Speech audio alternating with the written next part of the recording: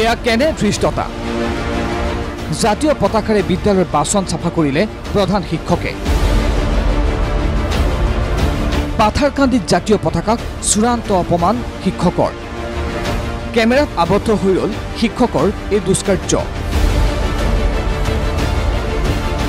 আচৰিত যেন লাগিলেও এয়াই সঁচা।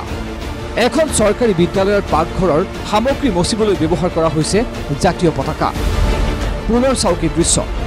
কিদৰে চাফাই কাম কৰি থকা হৈছে জাতীয় পতাকাৰে? কৰিমগঞ্জৰ মুলিউৰা প্ৰাথমিক বিদ্যালয়ৰ দৃশ্য এয়া।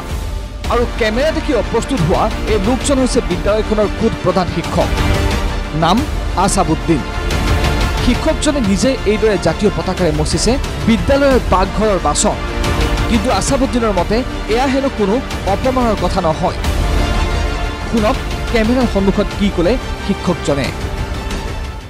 নবালাই নবাল করছি না স্যার কেন এটা আমরা তো অন্য জায়গাতে রা- রাখি না আস- আসলে স্টক রুম নাই এখানে বক্স বাক্সর মধ্যে আসলে এওঁৰ অদ্ভুত যুক্তি শুনিলে চকু কপালত উঠিব আপোনাৰো নতুন জাতীয় পতাকা কিনাৰ বাবে হেনো পুৰণিখনক ব্যৱহাৰ কৰা হৈছে এই কামত এটা জাতীয় পতাকা না এটা ৰয়ে গেছিল ওখানে মানে রান্ধুনিয়া জিওর বক্সের উপরে রাখে দিছিল আমরা নতুন পতাকা আছে, আমরা সুন্দর পতাকা আছে, আমরা জিওতে দেখতে পারবা।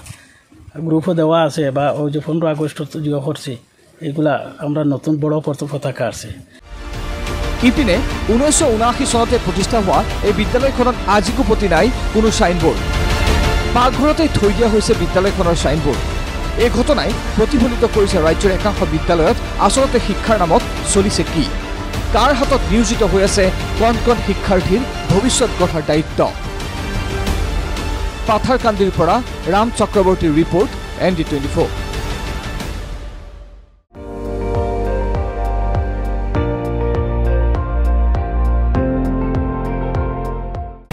আপুনি চাই আছে এন ডি টুৱেণ্টি ফ'ৰ। সৰ্বশ্ৰেষ্ঠ নহয় সৰ্বোত্তমৰ দৌৰত।